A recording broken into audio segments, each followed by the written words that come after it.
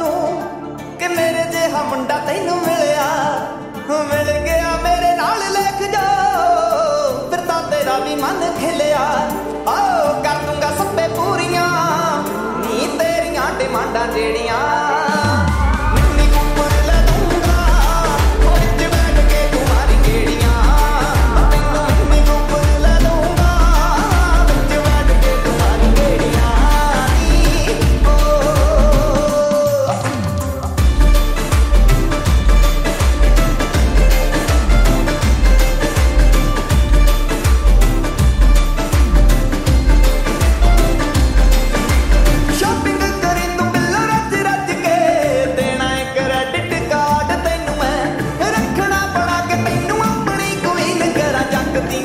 up